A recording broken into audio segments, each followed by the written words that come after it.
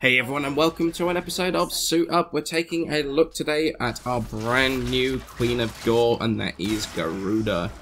You can get hold of her blueprints by completing the Vox Solaris quest in Fortuna and you'll get the blueprint mailed directly to your inbox and then the individual parts are from bounties out on the Orb Vallis. Or you could just skip the grind and just buy her for flat straight from the market. Her entire theme behind her kit is killing, but unlike Valkyr who is all about pure rage and vengeance, Garuda's all about elegance in the pursuit of her art, which is just pure killing. And boy do her abilities really support that. Her base stats are pretty decent across the board to be honest, without anything particularly standing out. Uh, shield and health both 300 at rank 30, energy's alright as well, 270 at rank 30, but a pretty nice armor amount of 300, and that means combining health and armor is probably going to be the best way forward for her in terms of the build especially with her abilities. Let's start with the passive, which is very very simple. The lower your health, the more damage she does with both her abilities and her weapons. This is in real time too, so if your health drops before your cast or your next shot, you're going to get the bonus damage from that immediately. And that's going to be, that bonus, the damage bonus will be lost if you heal.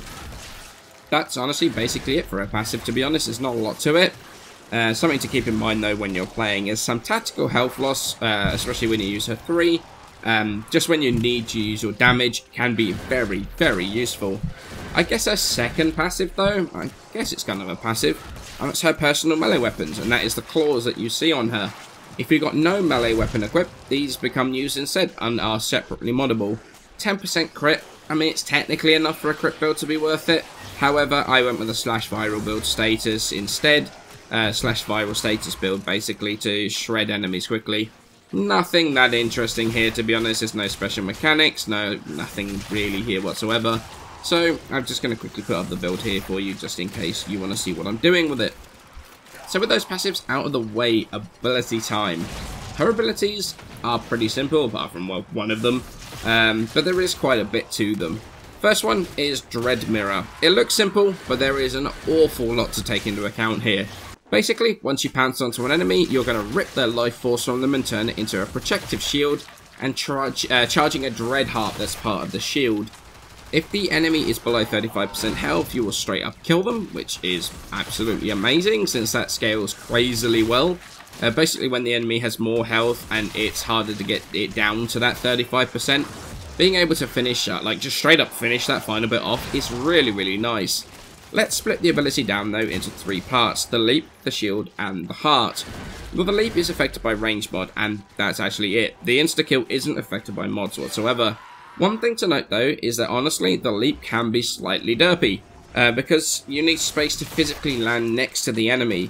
However, this means if they're near railings or any physical objects, so often you're going to get the target obstructed message.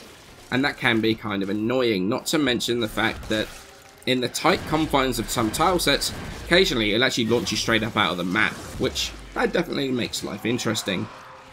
Dread Shield itself, uh, it has no health on its own, it's completely invulnerable and will follow you around in front of you, blocking any enemy fire. It does have duration though, which is affected by mods, um, obviously duration mods. However, what's awesome is that the duration can be reset by recasting the ability, so it can basically last forever no reason really to let it drop, except when you actually recast your, uh, well, basically when you throw out your Dread Heart, and that leads you on to the Dread Heart at the top of the shield. While the shield's active, the shield is going to double enemy, uh, like incoming enemy fire, and it actually stores it in the heart at the top of the shield.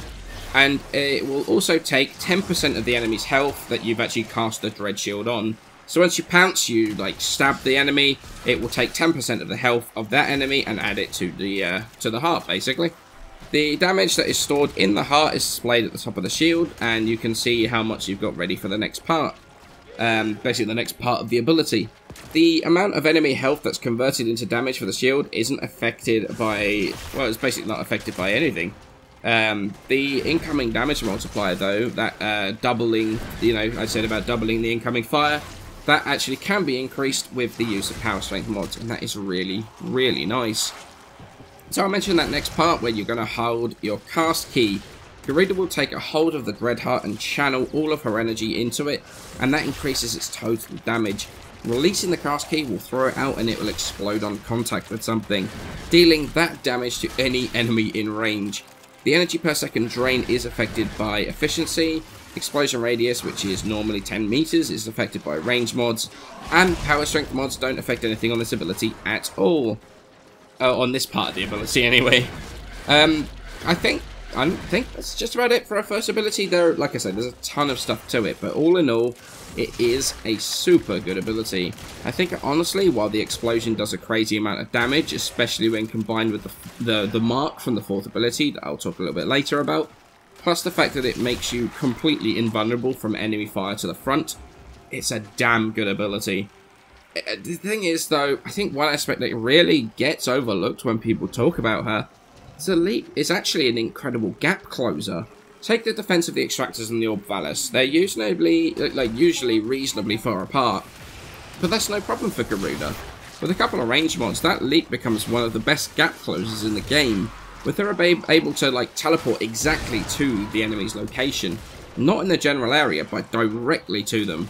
Plus, with the guaranteed knockdown, it can also stop enemies from capturing interception points and all sorts of things. Uh, if you've got a spooled up heavy gunner, spooled up tech, just knock them down and they're not spooled up anymore. Dread Shield is an incredible ability and one that I use a huge amount when I'm playing Garuda. Thankfully though, from now on, her abilities are quite a bit simpler. They're good, but they don't need too much explaining. Firstly, Blood Altar. She's going to charge at an enemy and impale it on an altar of spikes. The targets will be completely disabled, but cannot die at all for the duration of the ability. Uh, you can stack damage on the target, so when you release it by recasting the ability, all that damage is instantly done to that target, um, and in most cases, it's going to die. However, while the target's immobile, it will send out a healing aura that will heal any person in the area of the ability, restoring 25% of the immobilized enemy's maximum health per second, and dealing 1% of their maximum health per second as direct damage. The range of the charge and the heal is both affected by the uh, range mods, and the duration by duration mods, and the health per second by power strength mods. There's not really much more to say about this ability, to be honest. It's an incredible heal, and synergizes amazingly well with her third ability, as you'll see in a second when we go through it.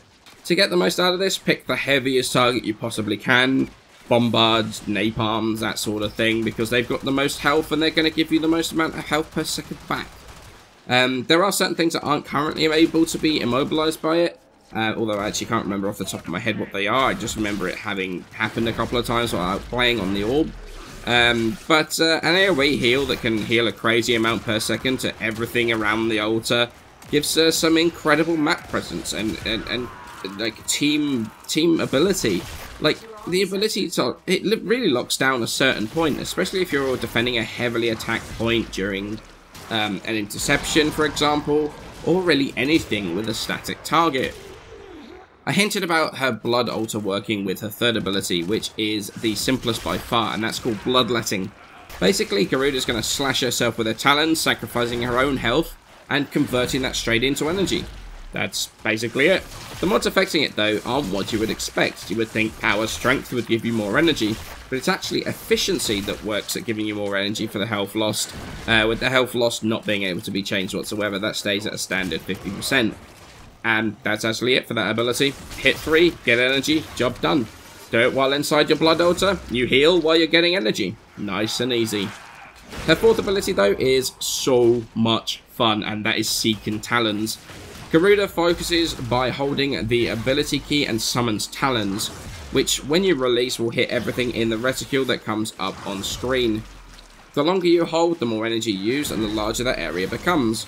Each Talon deals 150 damage over time, uh, with a 50% chance to proc slash. Anything that isn't dead will be marked with her symbol, and the next hit on them has a chance to proc, uh, proc slash too. And that will tick for the amount that the of basically of the object that hit it. So for example, you hit an enemy for 10k with a weapon, it will base the proc, the, the slash proc from that, um, hit it with the damage from the Dread Heart, and yeah, you have one of the best scaling damage abilities in the game. The, the, the, duration of the mark can be increased with duration mods, the damage and chance to proc slash can be increased with power strength mods. I love this ability so much. Watching all the bleed procs, it's so satisfying. And with it being slash procs, they ignore armor, which helps it scale. And then you have that wombo combo with a Dreadheart. Oh boy. All of the th all of the damage. But the thing is, people forget that honestly, well yeah, the instant AoE kill from that combo is good. And it looks good when you're in the simulacrum or whatever. Like, you can do crazy things with a high base damage weapon too, like a Rubico Prime. It's gonna have a super, like, super high level targets bleeding out instantly too. So whatever you use, whether it's that combo or your average weapon, it is an incredible scaling ability. So how did I decide to go about modding Garuda? Well, I've actually got 5 Forma on here. It's really needed, especially if you're going for the Umbral build, uh, which I have decided to. I know it says six forma, but that's because I just sort of messed up a little bit with my uh, with my build. So I didn't really mess up. I was sort of test testing bits and pieces, and an extra form was not really anything to uh, worry about. To be perfectly honest with you, um, in terms of the aura, we've got Steel Charge on here. She's very much a melee-based frame, especially since if you're using her claws. So I went for this, but obviously you need this if you're going to be running the Umbral, uh, the Umbral mods uh, well, you need any of the ones that give you 18 points up here. Um, so we're running, as I say, three Umbral mods. Umbral Vitality for health, Umbral Fiber for armor, and Umbral Intensify for power strength. Now that power strength is going to work with Augur Secret and Power Drift to give us more power strength. You need at least 200% to get the uh, slash proc chance up to 100%, so that is absolutely bang on the mark here. They've got Augur Reach and Stretch, which is going to increase the range of our um, first ability and our second ability. Um, the explosion radius on the first, as well as obviously the, the heal range on the second. Quantum Continuity is going to make the um, ability last longer. The first and the third, uh, sorry, first and second again, is going to make the ability last longer, as well as increase the bleed time on the fourth ability. The final slot, I've got Natural Talent here right now, um, the fourth ability takes quite a long while to uh, to charge up on the cast, so this actually makes it a bit quicker. It's not really needed though. You could actually, if you wanted to, switch it straight out for uh, Streamline, which will give you more health back, uh, sorry, more energy back when you cast your three. However, it's very much a personal preference thing. I prefer the natural talent, um, but I'm also going to, like, I'm planning on using the Kit Gun Arcane a little bit later on. Uh, I can't remember what it's called, Vox something or other. Um, but uh, it gives you power strength and it gives you uh, efficiency. And that's what I'm going to be using in future to help to um, keep my energy up a bit more with Garuda, is to keep that progged. So it's something that we can't get access to yet. It's a little bit further down the line, but uh, something I really, really am looking forward to. In terms of arcanes, I'm running Arcane Guardian for extra armor. Very much, very, very nice, especially when you've got uh, Umbral Fiber. Brings you up to like nearly 1500 armor, which, let's be honest, is pretty solid. Um, and then I've got Arcane Energize as well. Now, Arcane Energize is one of those ones that's kind of like, do you really need it? I've got it on here as a bit of a backup, um, so I can just be like casting my ability for days and not to worry too much. However, you could always stick Grace in there for some regeneration. You could, since you're taking a lot of damage, you could always decide to put Arcane uh, Awakening, I want to say, not Awakening. I can't remember what it's called now. Avenger. Avenger's the one I wanted. Um, Arcane Avenger on here it works as well for extra crit chance when you take damage. There is a lot you could do here. I prefer the extra little bit of help that Energize gives, and I don't have to rely on my 3 quite so much, because obviously casting your 3, lowering your health can put you in danger a little bit. So Energize really helps me in that sort of regard, but isn't really needed. Standard build, however, is very much uh, a very similar sort of build. Uh, we got growing power this time because we don't need all of the, uh, basically all of the mod capacity that uh, the steel charge gave us. This time for um, for the uh, power strength, we got power drift, transient fortitude, and augur secrets. This is going to give us 194%. Doesn't isn't quite at the 200% mark, but when you got growing power going, that is at the 100% mark very very nicely. We've got a bit more duration in this build, so Constitution and Primed Continuity. Which is obviously because we've got to try and counteract the Transient Fortitude that's in here. Bit unfortunate really, but hey. Vitality and Steel Fiber is going to be our, uh, our survivability here. uh, so health and armor. And then we've got stretch and augur reach once again for the range. It's not quite as uh, strong as the Umbral build, however, it is definitely a very solid build still. Um, I've used this build quite a lot, especially if you're using, like, the thing is, the status effects with weapons, it, it's so easy, just use something like a, pretty anything, basically, that's going to apply status procs. It's very, very easy to keep growing power procs all the time, and it means that you're always going to be above that 100% uh, chance to proc slash, so it's a it's a very very solid build. I've got the same basically the same choice of arcanes here as well, but sort of either build works. Um, I much prefer the Umbral build because more health, more armor, and roughly the same sort of stats, and you don't have to rely on growing power.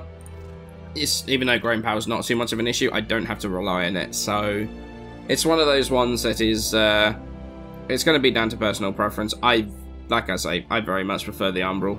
I, I really do think this is by far the stronger build. But if you don't have the ability to do the Umbral, then this works just as well.